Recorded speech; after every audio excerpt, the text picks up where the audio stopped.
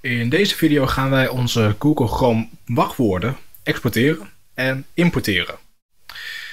Wat ik doe is ik uh, open mijn browser en op dat moment klik ik rechtsboven op mijn profielfoto en daarna selecteer ik dit slotje, het sleuteltje, waarmee ik dus mijn wachtwoordmanager open binnen Google Chrome. Hier zie ik een overzicht van mijn wachtwoorden, die zijn opgeslagen binnen Google Chrome. En door hier op de drie puntjes te klikken, kan ik het wachtwoord dat ik in Google Chrome staan exporteren. Op het moment dat ik wil exporteren, klik ik hierop en vraagt Windows om mijn Windows wachtwoord. Die vul ik nu in. Zodra dat wachtwoord is ingevuld, krijg ik de optie om het bestand op te slaan op bijvoorbeeld mijn bureaublad. Je hebt nu een Excel-bestand op je bureaublad gekregen, waarbij alle wachtwoorden uit je Google Chrome browser ja, in plain text, in platte tekst is opgeslagen. Je ziet hier letterlijk de naam van de website. Je ziet hier de gebruikersnaam en je ziet hier mijn wachtwoord op tweakers.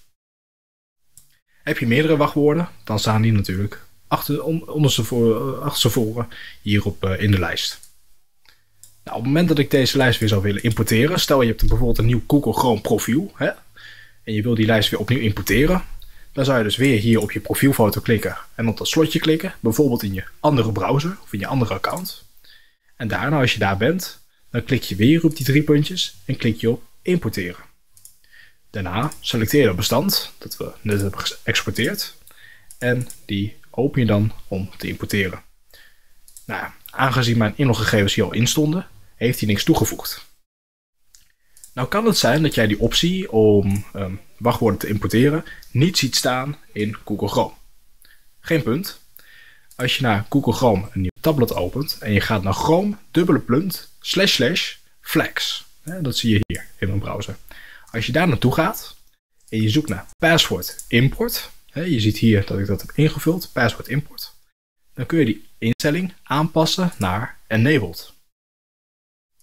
Op het moment dat je hem nu dus hebt ingeschakeld, deze functie, password import, en dan Google opnieuw opstart, nou, dan zie je dus dat die optie die we net zagen om het wachtwoord te importeren aanwezig is in Google Chrome. dus dat je dit veld ook ziet. Nou, dat is dus hoe je in Google Chrome je wachtwoorden exporteert en weer kunt importeren.